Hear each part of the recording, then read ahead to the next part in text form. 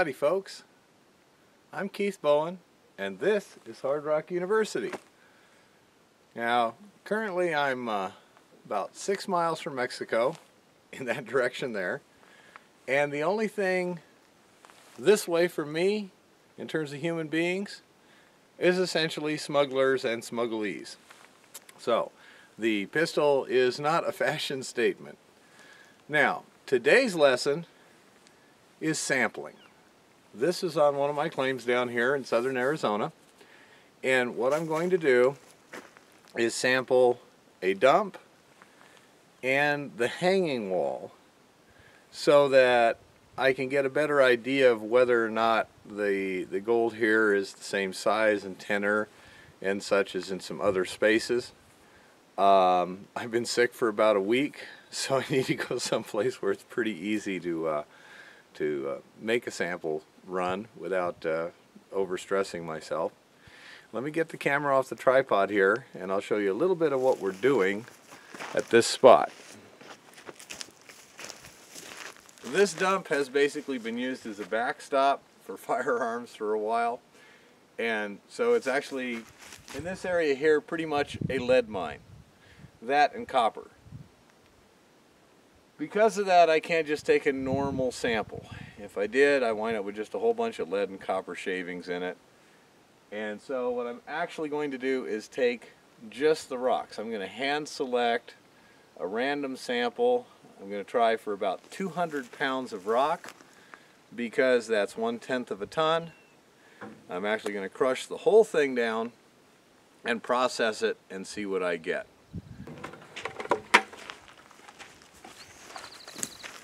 Mark the buckets. and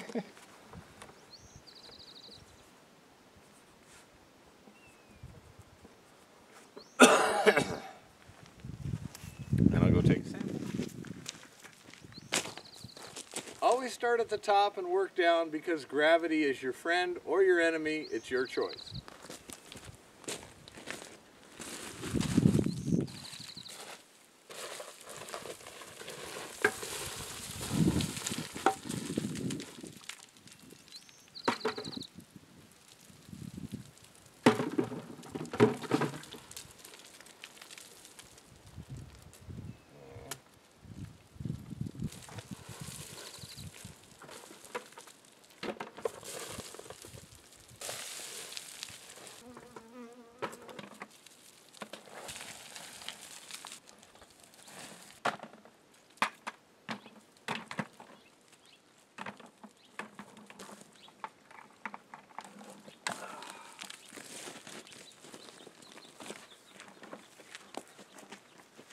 Now that is clearly not a representative sample because I'm hand selecting. I'm excluding certain sizes, mainly a lot of very fine material. But I'm not trying to get a truly representative sample in terms of concentration at this time. I just want to see what comes out of it, to see what the particle sizes are, whether there's enough material uh, of a high enough grade to even consider processing it, things like that. But this is more to do testing on other things than this rock itself. I just need material to test. So that's what I'm doing. Now I'm going to do the rest of the dump and get about 200 pounds total. This ore body is near vertical, but it does dip a little bit from upper right to lower left about 80 degrees or so. This, therefore, would be the hanging wall. Now, there's very little visible mineralization in it. However, a previous sample I took here went wildly different depending upon which assay lab it went to. It went anywhere from 3 thousandths to 3 tenths of an ounce per ton. So, what I want to do is get a big bulk sample of this that I can process and see perhaps the reason is it's got coarse gold in it. Coarse gold, of course, is just impossible to assay in small quantities. I've cleaned the base of the slope where the rock is, made a ledge. Got a tarp on this part right here. That's where I'm going to work first. and then I'll dig some rock from there and from up there. And again, I'm going for about 200 pounds total sample, which is one tenth of a ton. Therefore, when I process it down, if there's enough to actually weigh, I can go ahead and just do the extrapolation. Try and be as even as possible in terms of how much material you get across the face and where you get it from. Obviously, it's a lot easier to get the loose stuff. However, that doesn't necessarily mean it's representative. And there we have about 200 pounds of sample ready to go back and get crushed and processed. Hello again. As you can see, we've uh, changed classrooms here at Hard Rock University. We're currently about two weeks later and 10 miles further north than where we were before. This is in an area I call Gold Hollow. I call it that because there's a whole bunch of old workings around here. They're all very small, but a significant sized mining company in the past came in and did samples and every one of the dump piles had significant quantities of gold in it. Everything was better than a tenth of an ounce. So that's interesting. We're here in one of the larger workings. The shaft goes down about 30 feet. And you can see right here, this is the vein structure. Continues on down. On this side it gets pretty big at the bottom. It's about two feet. On that side, it pinches off to nothing. that kind of irregularity is fairly common in small veins like this. The ground has been thoroughly broken up by geothermal activity. I think there's a wasp behind me here. Anyhow, as you can see, this is a much more complex and dangerous sampling job than we did before. I have a lot of specialized gear. If you don't know how to rappel and everything like that, if you don't have the proper gear, please don't try this at home. What I've got is a Hilti demolition hammer and a bucket, both suspended above us. What I'm going to do is we're going to fire up the generator, then I'm going to use that hammer to break off some significant size samples and put them in the bucket and the man behind the camera, Deacon there, is going to haul them up and put them into other buckets, which he will carefully mark as to where they came from. And we will take them back and process them. Now, if you didn't have the capacity to crush rock in significant quantities, or if the laboratory you're taking it to doesn't crush the rock for you cheaply, Many times you can take in like a 50 pound sample, they'll charge you like 10 bucks to crush it up to a quarter inch minus or something. Because that's what they're going to have to do before they can split it down and then pulverize an actual sample. If you don't have crushing equipment, sometimes that's a very good way to get some crushed. Just take them in a bucket of rock, they'll crush it up for you, charge you $15 sample prep along with your assay. We happen to have the crushing equipment. The bigger the sample, everything else being equal, the better the sample.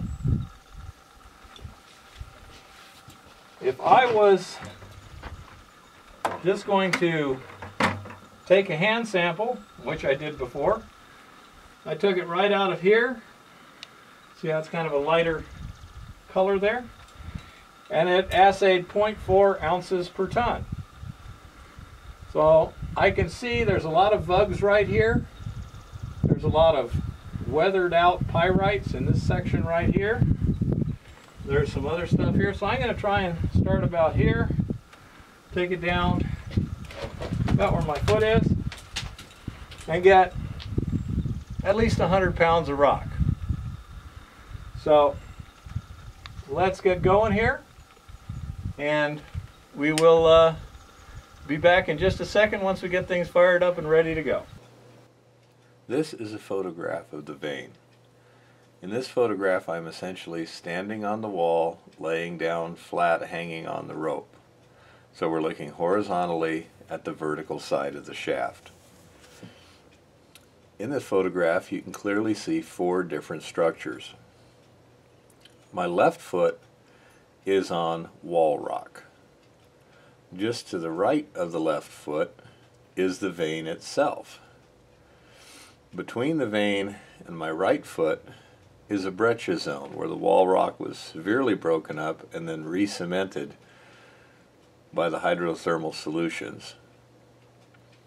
And my right foot is standing on wall rock. Now, I understand this ore body a little bit because I've done a fair amount of work on it. So all I was interested in today was the vein itself, a big bulk sample of the vein. But if you were new to this area and you hadn't acquired any information, what you would do is cut a channel across all four structures and bag them separately. The vein itself is obviously what's most likely to be ore grade. However, if it is a high grade ore, then the breccia zone would be the next most likely ore grade material and finally, without doing some studies, it's impossible to rule out that the wall rock itself might be ore grade. And if so, that's extremely useful because that means the entire width of the tunnel can be an ore if you're tunneling or shafting along it. So you would take a channel across all four, varying the width and depth of the channel to get the appropriate size sample for what you are doing and the equipment that you have. Again, today all I'm going to do is take a very large bulk sample of the vein itself, the full width of the vein for several feet and back in about six inches or so.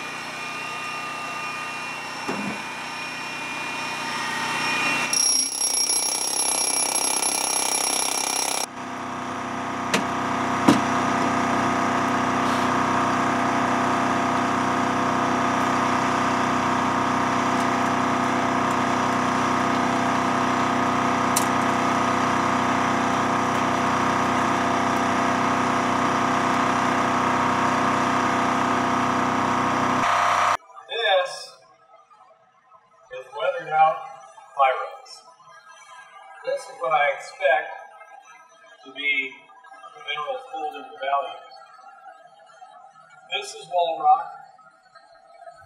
This is heavily broken wall rock that's been altered mineralized. But here's the actual vein itself. Again, in the previous test.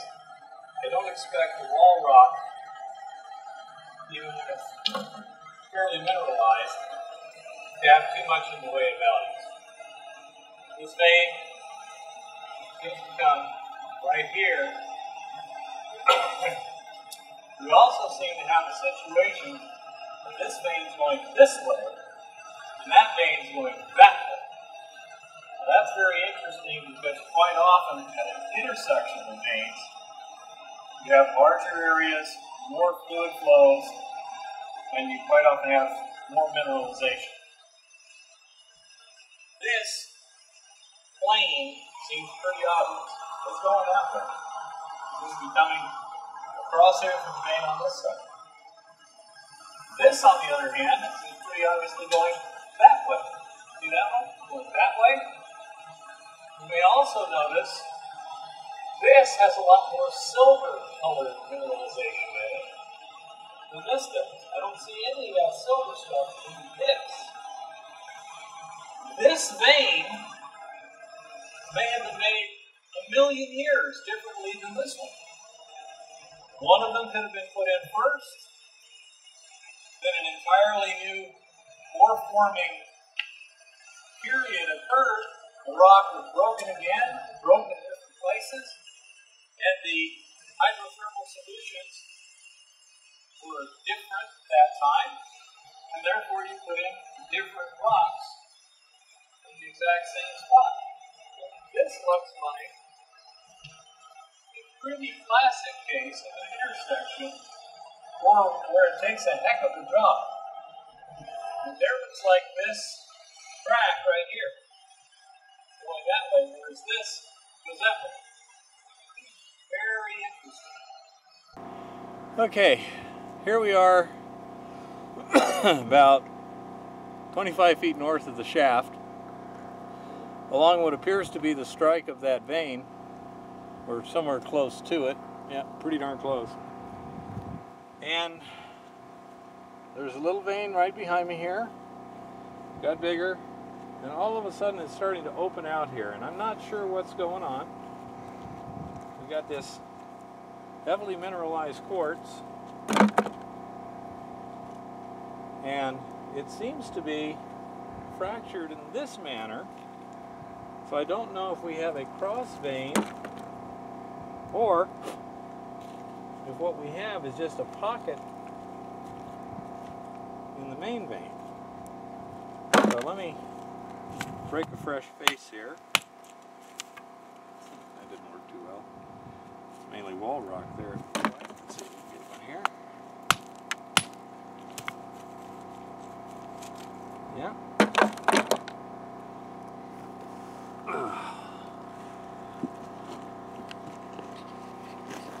Okay, let me know when you're ready. Okay. Got a lot of pyrites in here. This is wall rock that's been heavily altered, a lot of silica in it.